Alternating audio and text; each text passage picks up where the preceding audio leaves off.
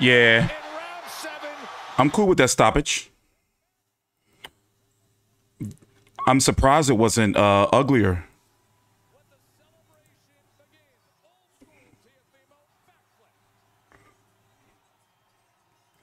Good for him. I had some concerns about uh, Teofimo coming into this fight um, because basically he's been talking, you know, like he's got some issues going on. Uh, he's been out of the ring for what, uh, nine months? And then they said uh, one fight in the last 22 months.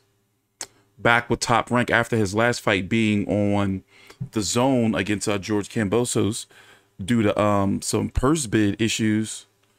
Lord, that state athletic commission woman is something else. Anyway, um, T Street controversy with Fight View 360. There's T.O. Senior. So I mean, he looked good. He looked good. He showed like all the pieces to the puzzle. Um. However, my concern is, uh, there's a stoppage. Well, that was the knockdown leading to the stoppage. A stiff jab put him down. Like, you know, we we saw we we saw the best of T.O., you know, in regards to like what he has to offer. um, body shots, great jab. Uh, the power is clearly still there. You know, he didn't look tired or gassed out. And Pedro Campa, he's going to get some more work because he put on a nice little uh, performance, you know, when he was able to get Teofimo on the ropes. But one thing I did say is that he's got really, really heavy feet, you know, and I'm surprised that he didn't get knocked out even uglier, if we're really, really being honest. But now I want to hear what Teofimo has to say. My personal opinion, I think that, you know, um, it's going to be Barboza. Top Rank seems to be really, really building up that fight.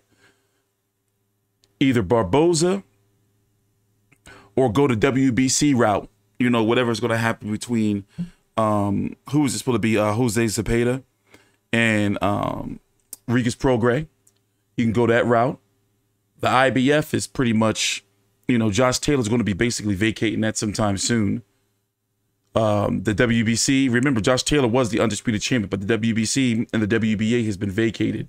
And it's likely because he can travel. You're going to have Bakhtir Akhmedov taking on um who's he fighting again? Oh, let's listen to the particulars. Welterweight champion, the takeover, Teofimo Lopez. He has said this week he loves the growing, the teaching, the pain, the hardship. Hey, let's turn that down. Married But I wasn't I will listen to his post fight interview, but um Jeremias Ponce, Subriel Matias will likely be for that vacant IBF title. Alberto Puello and Bakhtir Akhmedov, their fight for the vacant WBA on the undercard of uh, Adrien Broner. And um, Omar Figueroa next weekend. It's the 13th right now. Go do the flip, man. Do the flip. Do the flip. There we go. All right. Great landing. Uh, Zepeda and Regis Prograis are going to be fighting or ordered by the WBC to fight. Somebody told me that Jose Ramirez is getting married. So basically, he's out of the running for the WBC uh, right now. Um, these two belts are vacant. This third one's about to be vacant. Josh Taylor, the champion, is um, uh, rumored to be fighting Jack Catterall again next. Liam Paro, so to be taking on Brock Jarvis. Liam Paro is ranked number one. So whoever wins between Arnold Barboza and Teofimo Lopez and maybe Jose Ramirez, you know, some mixture right there, will be the WBO mandatory. So he has options, and and and 140 is stacked, especially when you think about the guys that are coming to 140 eventually, like Devin Haney. Um, likely after he beats Kambosos and when he fights Loma, win or loss, he's going to be. Um, um, that's the rumor is that Devin Haney may be fighting Loma, but also Loma is also linked to Shakur Stevenson as well. But 140 is pretty deep, you know, and it's going to be even deeper when those guys from 135 move up.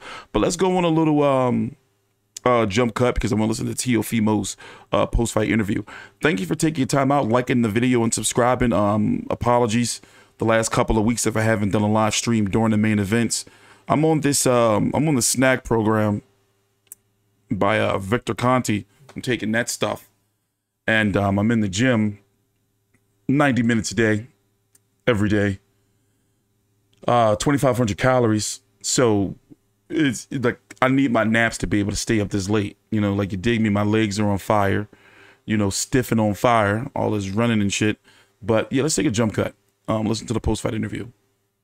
Follow me on Twitter at T Street Controversy. Also, my podcast is finally here.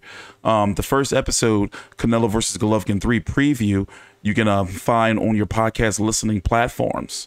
You know, Spotify, Apple, Google, Stitcher, etc. Just look up the uh, Fight View 360 boxing podcast or just Fight View 360 on your uh, listening platforms. All right, jump cut. We'll be right back. All right, we're back.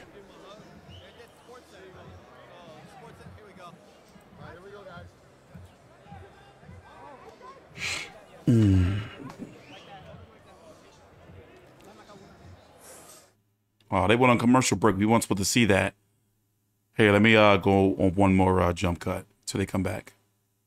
The takeback just took what was his with the TKO Oh, victory. Let's go to the ring to Bernardo. Teofimo, today it was about the take back. You started to have fun in there. Walk me through what it felt like to get a win tonight. First and foremost, I dedicate this fight to the Lord Almighty, Lord Almighty God, Son of God. Thank you for all that you have done, the countless blessings that you continue to bestow upon all of us in this room. He's talking about Honestly, this is a Jesus. blessing, man. I, I, God has blessed me with a gift, and I have a voice to talk to everyone in this room. I want to thank each and every one of you guys, each and every one of you that are here. Thank you for your time. Time is something we don't get back. I love you all so very much. Thank you guys. You have created in me something so much more that I needed. And for that, I'm forever grateful for all of you. I am grateful for all of this, man. The return. I told y'all, though, don't call this a comeback. This is the takeover, takeover. All right, now 140 pounds is different than 135. Describe that. Describe that difference and who you want next. Like I said, you know, look, uh, we've been at that. We've been at 135 for about nine years. It was killing my body since I was a teenage kid, man. Look, I'm, I just turned 25, and we want Josh Taylor. We want these guys. We want Prograis. We want we want Zepeda. We want all the belts. That's really who we want.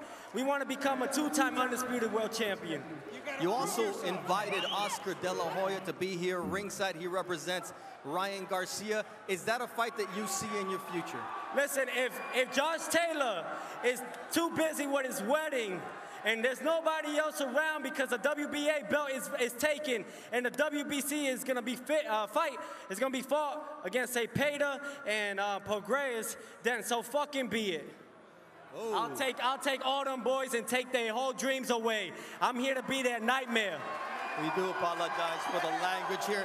Now, you were healthy tonight, and we know that you leave the ring. I'm healthy. exhausted. Heisman night historically has been your night. Is that when we expect to see you back in the ring? Hey, I need everybody to come out. We're gonna be in the big room this time. Madison Square Garden, December 10th. Heisman Trophy night on E ESPN, pay-per-view. Let's get it, baby. I'm ready to eat all these boys. They all man-made. Teofimo is self-made. They can never Pay-per-view? make another one. December the 10th. Yo, everything is ready then for Heisman Trophy What is he night, talking the about? Return of Teofimo Lopez in What's he talking about? Gracias, Xiomara Castro. Gracias, Honduras. Latinoamérica. What is this mess? Oye, muchas gracias. Así es. El grillo Catracho. Viva México también. Ándale, güey. Back to you, my friend. No They got. Everybody at 140. I wonder if I wonder if they got somebody already booked for him. Why did he say pay per view? But at the same time, he did say he was um a five time champion pounds. The first and the greatest of all not all time. By the way, it was uh 3500 or so there.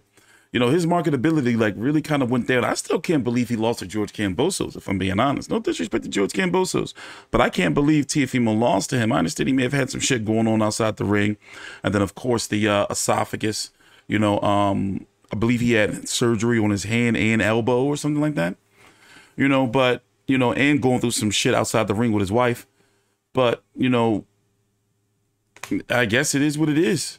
But I'm going to be interested in who's going to fight next. By the way, I'm going to be doing an in-depth recap this Tuesday at 6 p.m. Eastern on the channel live stream this Tuesday. What's going to be Tuesday? What um the 16th, 6 p.m. Also, I'm going to be releasing my uh, podcast on this fight um on Monday as well. Tuesday, I believe. I'm going to be releasing it. But we're going to get a consistent schedule. But I am exhausted, guys. I apologize. We're going to go into more detail, you know, in some other videos. But I got to get the hell away from this computer. Take your time out. Like the video. Subscribe. I am T Street Controversy with Fight View 360.